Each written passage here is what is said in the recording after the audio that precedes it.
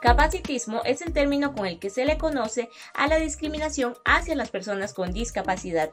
Yo soy María Fernanda y en este minuto inclusivo de Nexos te ayudo a identificar actitudes capacitistas.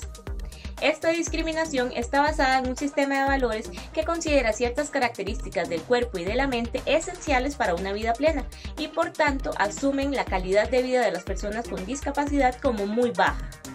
Pasa igual que con el racismo o la homofobia. Existe un grupo dominante, las personas sin discapacidad, que considera que todo aquello que se salga de su modelo o de su imagen de ser humano es inferior, anormal o no encaja.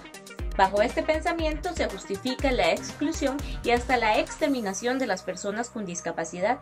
A finales del siglo XX surgió el eugenismo, movimiento que dio pie a la esterilización forzosa de más de 60.000 mujeres, hombres, niñas y niños con discapacidad, bajo el pretexto de mejorar el acervo genético de la humanidad. Y en la Alemania nazi se acabó con la vida de más de 300.000 personas con discapacidad por considerarlas indignas. Y me puedes decir, pero estos son catástrofes que quedaron en el pasado.